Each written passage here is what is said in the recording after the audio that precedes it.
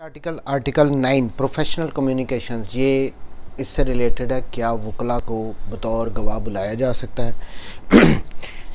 No advocate shall at any time be permitted यानी पहली बात तो क्लियर होगी कि कोई भी एडवोकेट को परमिट नहीं किया जाएगा कि वो गवाही दे unless with his clients express consent लेकिन पहले एक्सेप्शन ये बता दिया कि अगर तो क्लाइंट ने एक्सप्रेसली कंसेंट कर दिया कि जी आप गवाही दे दो, आप बता दो, फिर हो सकता है अदरवाइज़ नो, एक वकील साहब को परमिट नहीं किया जाएगा कि वो जो communication between him and his client हुई है, उससे रिलेटेड कोई गवाही दे।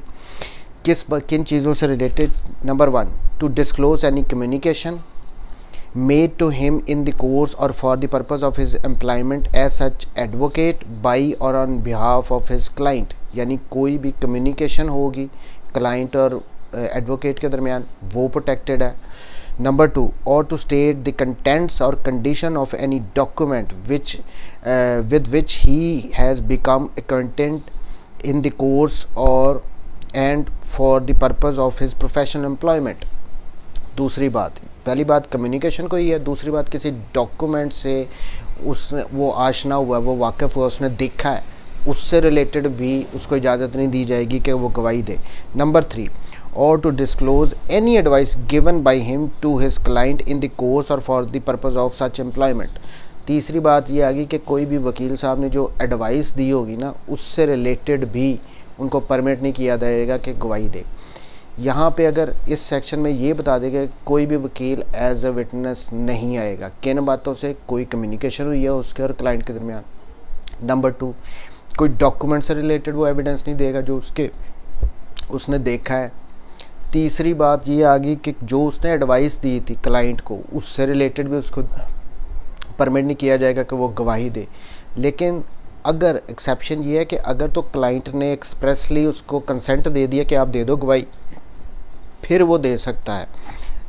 आगे इसकी proviso provided that nothing in this article shall shall protect from disclosure अब ये प्रोवाइज़ो में बताया गया है कि किन सूरतों में वो डिस्क्लोज़ कर सकता है। पहले तो हमारी एक ऊपर आ गई थी कि अगर कंसेंट होगी तो कर सकता है। अब यहाँ पे, इस सेक्शन में। Number one any such communication made in the furtherance of any illegal purpose यानी कोई इलीगल काम करने के लिए उसकी कोई कम्युनिकेशन हुई है तो वो प्रोटेक्टेड नहीं है, वो वकील साहब चाहे तो उससे रिलेटेड गवाही दे सकते हैं।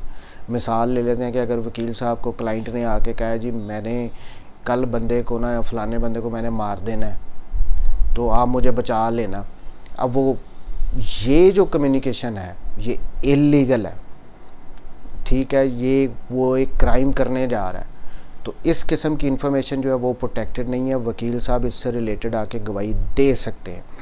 Number two any fact observe by any advocate in the course of his employment as such showing that any crime or fraud has been committed since दम्यूनी since the commencement of his employment whether the attention of such advocate was or was not directed to such fact by or on his behalf of his client अब यहाँ पे दूसरी बात ये आ गई कि कोई fact जो वकील साहब ने खुद ऑब्ज़र्व कर लिया हो और वो उसकी एम्प्लॉयमेंट जिस दौरान वो उसका वकील रहा है, उसने वो खुद ऑब्ज़र्व कर लिया, उससे रिलेटेड भी वो एविडेंस दे सकता है, बतौर गवाह आ सकता है।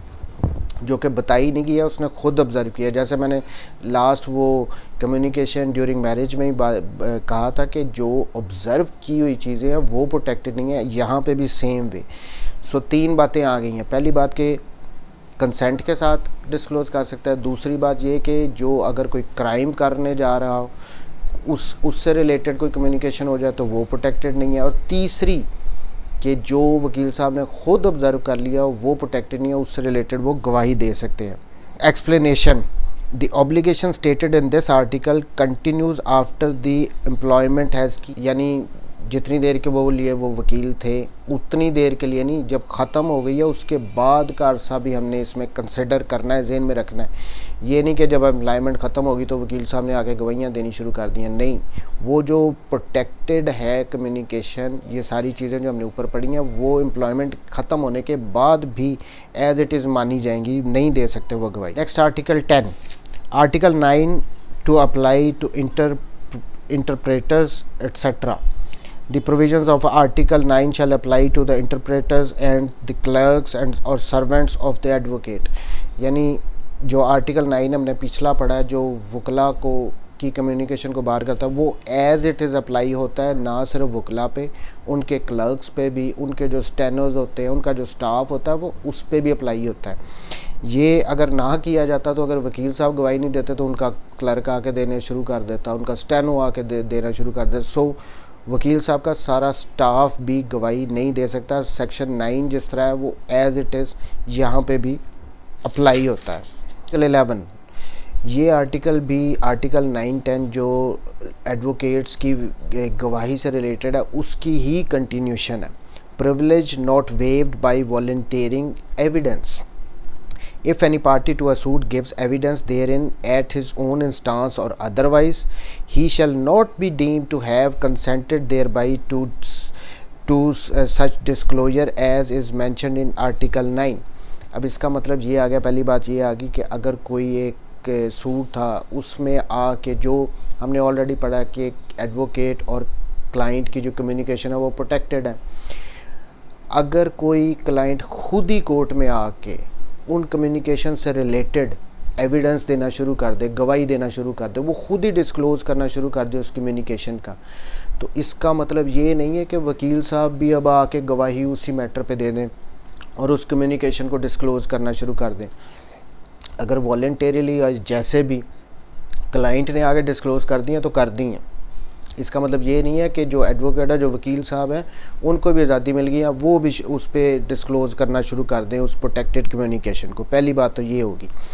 And if any party to a suit or proceedings calls any such advocate as a witness या किसी सूट में या किसी क्रिमिनल केस में कोई पार्टी वकील साहब को एज ए विटनेस कॉल करती है he shall be deem to have consented to such disclosure तो इसका मतलब ये समझा जाएगा कि उस क्लाइंट ने कंसेंट दे दी है कि जी वकील साहब गवाही दें आके। वो जो प्रोटेक्शन थी वो ख़त्म हो गई है। Only if question such advocate on matters which but for such question he would not be at liberty to disclose अब इसमें यह बताया गया है दूसरी बात ये आ गई कि अगर तो खुद ही किसी पार्टी ने, किसी क्लाइंट ने, चाहे सिविल केस हो, चाहे क्रिमिनल केस हो, उसमें जो एडवोकेट साहब हैं, उनको एज ए विटनेस बुला लिया। अब हमने तो पढ़ा कि उनकी जो कम्युनिकेशन है, वो प्रोटेक्टेड है। अगर उन्हें खुद ही उसको बुला लिया तो हम ये समझेंगे कि इसने जो अपनी प्रोटेक्शन थी, वो वेव कर दी है। वो प्रिवलेज अब ख़त्म हो गई है। लेकिन जो क्वेश्चंस पूछे जाएँगे ना, वो उन्हीं से रिलेटेड वकील साहब ने बात करनी है। अब ये नहीं कि इस कंसेंट का मतलब ये लेके नहीं चलना कि वकील साहब ए से लेके जी तक, शुरू से लेके आखिर तक हर बात ही खोल दें। इसका ये मतलब नहीं है। अगर उन्होंने बुला लिया तो जितना सवाल पूछा, उतना ही वकील साहब ने डिस्क्लोज़ करना है वो लिबर्टी पे नहीं होंगे कि सारा कच्चा चट्ठा ही खोल दें। तो ये था, दो बातें होगी अगर तो वो खुद आके कर दे तो इसका मतलब ये नहीं कि वकील साहब को भी इजाज़त मिल गई। और दूसरी, अगर उसने वकील साहब को खुद वकील एज ए विटनेस बुला लिया तो जितनी बात पूछनी है, उसी से रिलेटेड बात वकील साहब ने करनी है, उसी क्वेश्चन का आंसर करना है। सिर्फ़ उसका।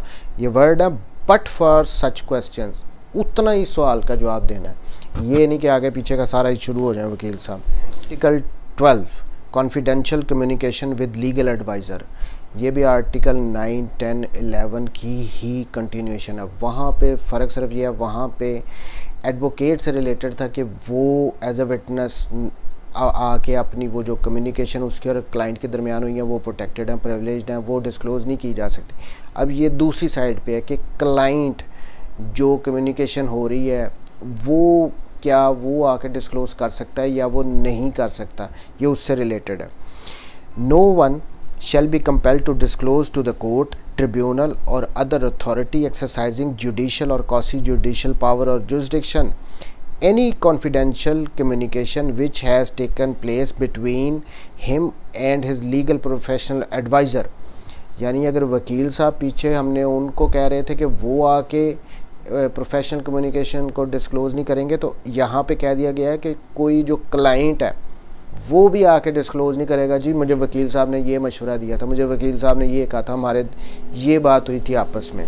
तो पहली बात तो क्लियर कट आ गई कि यहाँ पे क्लाइंट भी आके डिस्क्लोज़ नहीं किया कर सकता, उसको कंपेल नहीं किया जाएगा कि आप हमें ये बताओ कि आपके और वकील के दरमियान क्या बात हुई थी। Unless he offers himself as a witness लेकिन यहाँ पे दूसरी बात पे ये आ गई कि अगर वो खुद एज ए विटनेस आ जाता है, फिर क्या होगा?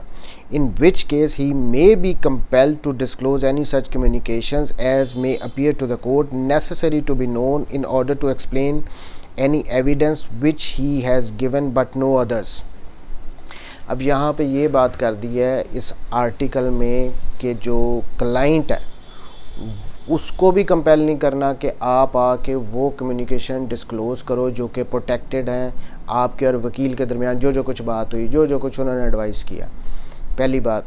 लेकिन अगर वो खुद आ जाए एज ए विटनेस तो कोर्ट अगर चाहे तो उसको कंपेल कर सकती है कि बताओ आप ये क्या क्या कम्युनिकेशंस आपके दरमियान हुई थी। नॉर्मल कोर्स में ऐसे होता नहीं है।